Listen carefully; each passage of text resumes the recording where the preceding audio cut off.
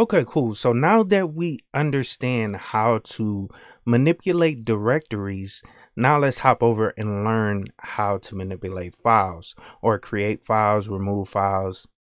And the first thing we need to understand is that all files on the Linux operating system are case sensitive, meaning that you can create files with the exact same name. The only difference is the case of a particular character within that file. And that will be recognized by the Linux operating system as a totally different file. And this is very different from the Windows operating system.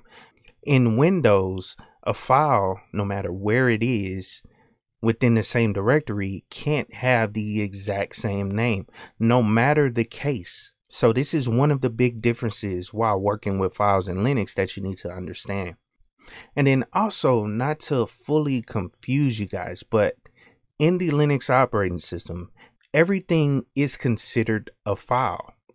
Even directories, they are considered a file by the Linux operating system. It's a special type of file, but it's considered a file nonetheless.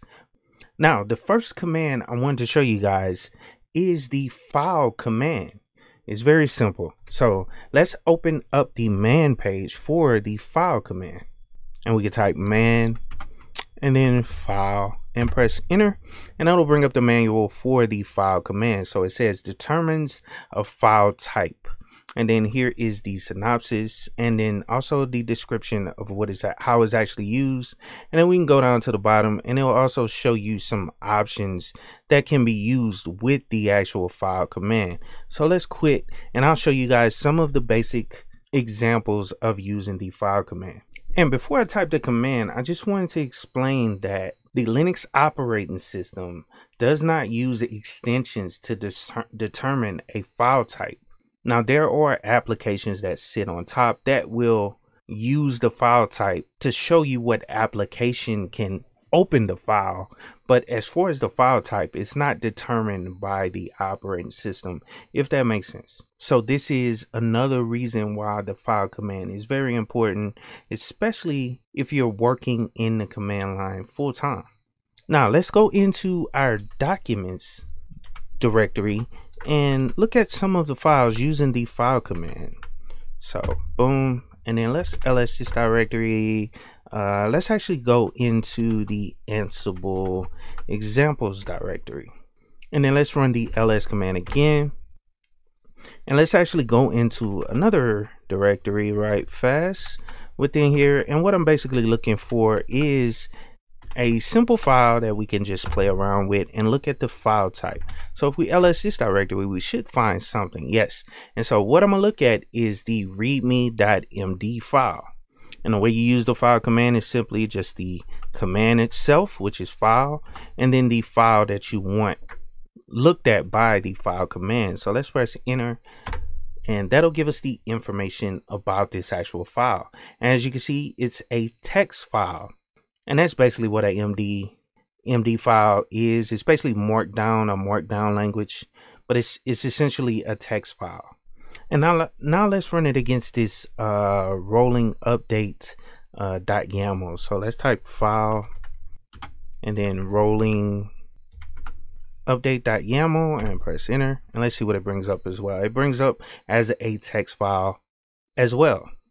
And let's go up one directory because I want to find another file. So let's go to this Mon MongoDB folder and let's see what's in here as well. I think it's some images. So an image directory and let's ls this directory now.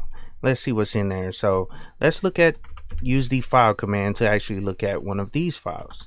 Now we already know by the extension what it is but this is a handy tool to give you more information about a file. Now as you can see this is the file name then this is a PN, png image and you can look at the resolution of the actual file as well as the color color the RGB RGBA and it says non-interlaced. But that's an image file basically. So that should help you understand the file command Now, the next command I wanted to show you is how to actually create files from the command line. So let's actually cd or change directory back to our home directory and clear the screen. And the command I wanted to show you guys is touch. So if we type man and then touch, this will give us the manual for the touch command. And basically what it says is it's a change file timestamp. But the major purpose for using the touch command is to create files. But you can also do other things like change access and modification times, as well as, you know, basically create empty files. So let's go down and quit that and show you guys how to use the touch command. And let's get back into our documents directory and use the touch command to create a couple files. Now the basic way to run the touch command is simply touch and then the file name. So we can name it file one dot txt, press enter. And if we ls the documents directory, we'll see that file one has been created. Now let's go on and create multiple files using the touch command. And basically all you have to do is list out the files. So let's create, we already have file one. Let's create file two txt and file 3.txt and that's the two files. And I'm just basically showing you that you can create more than one file at a time using the touch command. You just have to separate them by a space. So let's press enter and then let's ls this directory again. And we'll see that all three of those files are there. And just like other commands the touch command has has a lot of options where you could change things about a particular file, but I won't go through that. I just wanted to show you the touch file, and this is the simplest way to create empty files on your computer. Now that we learned how to create the files, let's go on and learn how to remove a file, which is very simple. It's similar to the remove directory command, but instead of rmdir, it's just simply rm. So let's go to the man page for that right fast. So we could type man and then rm. Press enter and it says remove files or directories. And it basically covers how to actually use the command as well as the description just like all the other ones and as well as options that you can use. So let's quit that and actually do some examples of removing these files that we already created. So the basic way to remove a file is simply rm and then the file name, which is uh, the one, the file one.txt, which is the first one I want to delete. So we can press enter and that'll delete that file. So if we run the ls command, we'll see that file one has been removed. Now, the same way with the touch command, you can specify multiple files. So all we have to do is type rm and then what I want to do is show you guys one of the options for the remove command, which is dash I, which is considered the interactive mode. And it's basically a way of running the command where it verifies that you want to delete these files.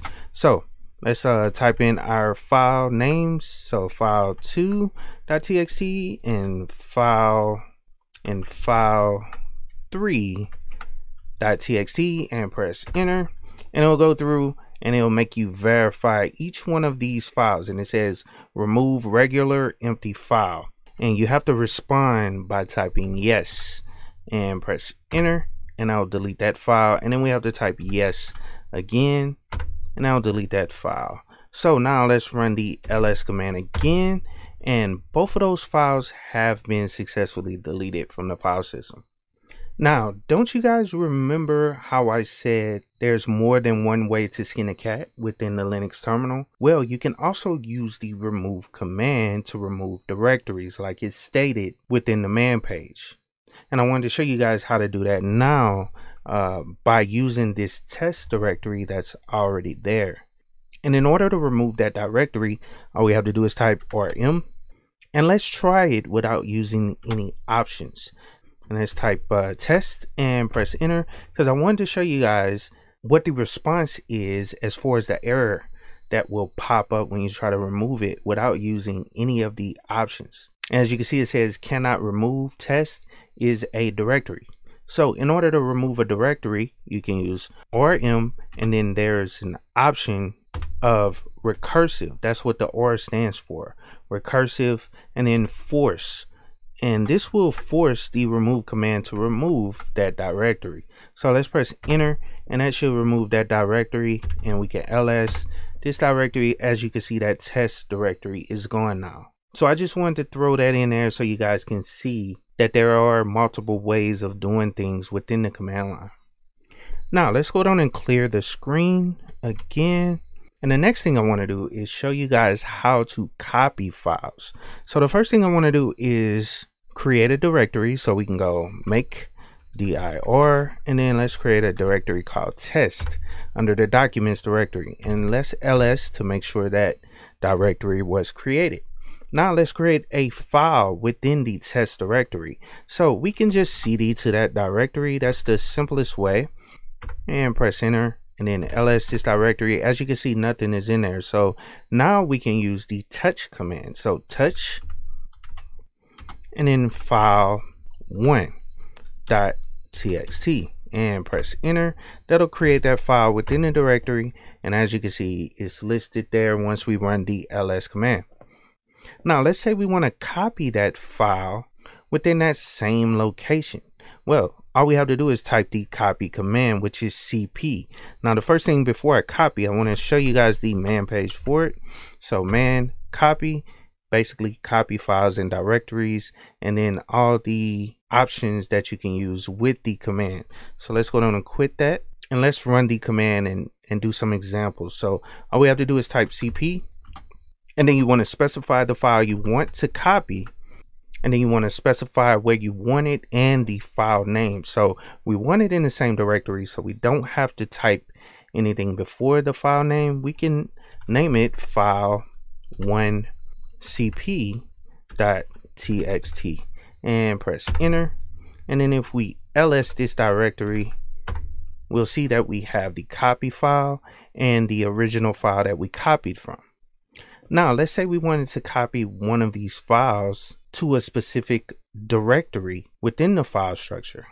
All you have to do is type copy the cp command and then let's copy that same file. So file one dot txt and we want to copy it to a specific location. Let's copy it and put it within our documents directory. Now we could just type the absolute path. That way we know for sure we're getting the file in the correct location. So we could put the forward slash, which is our roots, and then the home directory, and then Josh and then let's say we want to put it in that documents directory like we stated and that's all we pretty much have to do unless we want to rename the file. And we'll just place it in that location by pressing enter. And if we ls this directory you'll see that file one is still there but we can ls a specific directory by typing a full path so we can go forward slash home josh and then documents and press enter and that'll show us that file one that we put in that location. Now let's go up one directory. And the way you go up one directory if i didn't show you guys this but it's cd change directory dot dot and that'll take you up one directory. As you can see we went up one directory in a tree and i believe i forgot to explain that when we covered the cd command. I just wanted to keep it simple and not confuse people but that is the way you move up one directory while using the cd command. Now back to the copy command. If we want to copy a directory it's a little bit different. We have to use an option of dash r in order to copy that directory as well as all the files within it. So all we have to do is type cp dash r and then we want to copy that test directory that test directory and I want to put it in the same location so it's the exact same thing all we have to do is type out a name so let's go test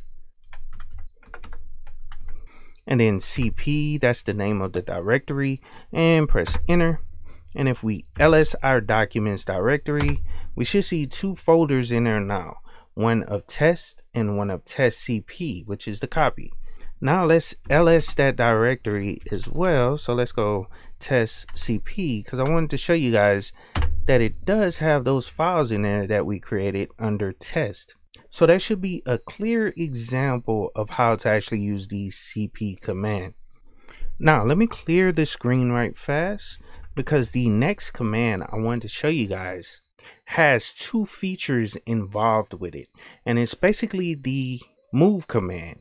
You can move files and then you can also rename files. And this is what a lot of people use the move command for for instance if you have a file named file 1 and you want it to be named file 2 within the same directory, a lot of times people will use the move command to actually rename those files within the command line because it's basically a faster command. It's just two letters in order to rename a file.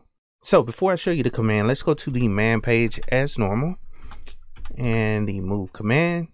Just press enter. And as you can see in the man page, it even says that you can rename files with it. And it also goes through the description as well as all the options for using the command. But I'm going to show you guys the simplest ones. If you want to get more advanced, then definitely check out the man page. But let's quit. And then let's ls this documents directory again because I want to show you guys the simplest way to run the move command by renaming file1.txt. And I'm going to do exactly that example that I said a few minutes ago. So let's just type move and then file name, uh, file1.txt, and we want to rename it to file2.txt. And we'll leave it in that same directory so we don't have to put the path in front of it. And we can press enter and then let's ls this directory. And we'll see that file one is now file two. So that's in a simple example of using the move command to rename files. And then you can also move the file through that process by specifying a absolute path, which I'll show you guys now. And so let's type move and then let's capture that file to file and we want to move it to the test directory and then let's also rename it to file 3 just to show you guys you can do all this in one command. So let's press enter and that will move file 2 and if we ls this directory just to show you guys that it's gone now let's ls the test directory and press enter. And that'll show us that we have that file 3 in there. So basically we moved and renamed at the exact same time by using one command and you can also do the exact same thing for directories with the move command. So let's LSD documents directory again. And what I want to do now is rename the test CP to test PC. And I apologize, I typed the wrong command. I put the remove command in there, which I meant to put MV. So apologize for that but let's go down and move forward. But we're gonna run that same command.